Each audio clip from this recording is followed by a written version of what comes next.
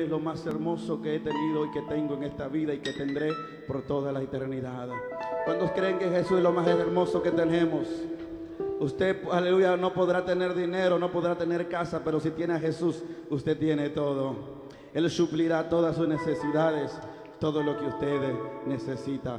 Jesús amado, este es el tema de esta alabanza que vamos a seguir cantando en esta noche.